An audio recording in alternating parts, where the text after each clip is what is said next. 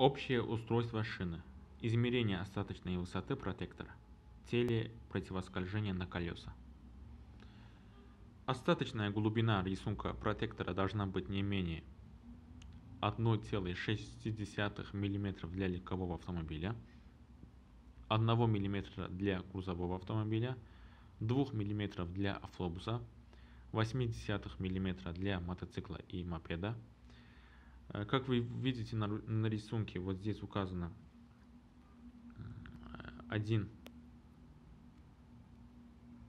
протектор, 2 рисунок протектора, 3 плечо под покрышки, 4 э, капроновый корт, 5 бортовое кольцо, 6 боковая часть, вот здесь, как вы видите, вот вот вот здесь.